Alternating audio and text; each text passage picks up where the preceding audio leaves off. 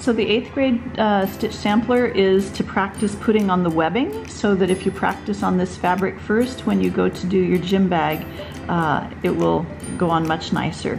You're going to start at this bottom corner here and you're going to sew in a rectangle shape, one, two, three, four, and then you're going to get back to the same point where you started and you're gonna sew diagonally up you're gonna reinforce that top line again and then diagonally down.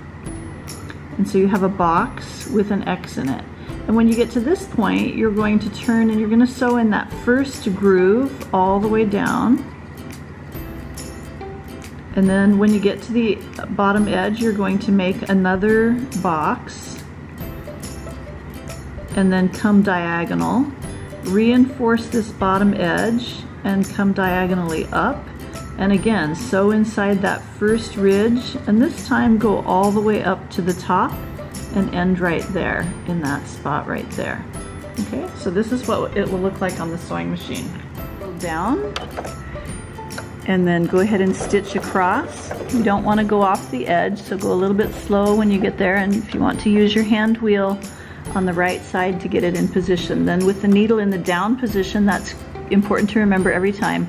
Then turn it 90 degrees and stitch up to the top. And again, remember not to go off the edge. And then when you're going to turn it again, lift up the presser foot and then put it down. And then stitch across. Then lift up your presser foot and come down that first ridge. So I'm gonna finish it off right there so that it goes completely around.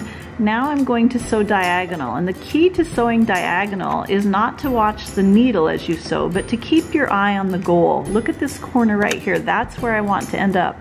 So as I'm sewing, I'm not paying attention to the needle, I'm making sure that my eye is focused on that corner and then as I sew toward that corner, I just make sure that I stop when it ends there. I need to go one more stitch and then the needle is down and I turn and I reinforce that top edge one more time go right on top of the previous stitching line. Well I went a stitch too far this time. That's okay this is practice.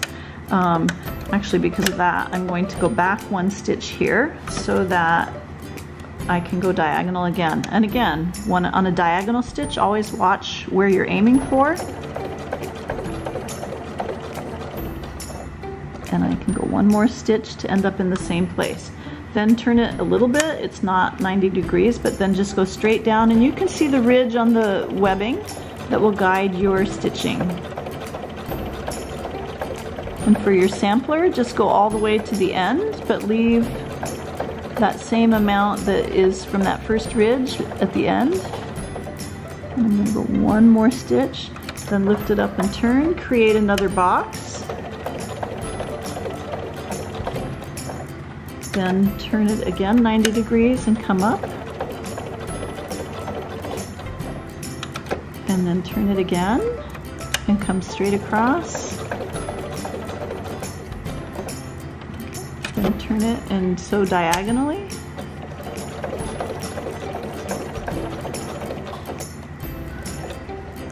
Reinforce the top edge. And that's where your webbing will get a lot of pull, so it's good to make sure that it's on the top edge.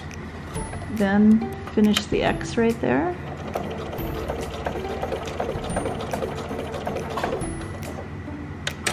And then lift it up, and then you're just gonna sew all the way to the top edge here.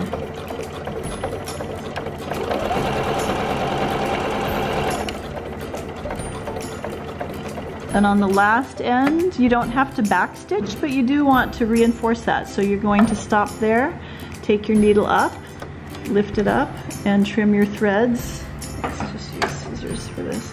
And you need to trim the thread where you ended and where you began on both the top and the bottom for a stitch sampler that meets standard.